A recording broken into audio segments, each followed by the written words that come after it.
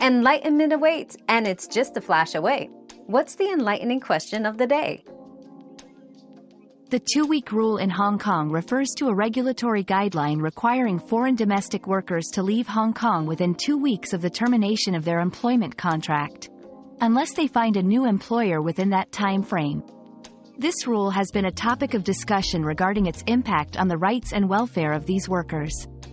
Understanding and navigating this rule is crucial for those affected to ensure compliance and avoid legal complications. We've quenched today's curiosity, but there's always more to learn. Keep the curiosity alive by subscribing and joining us for our next adventure.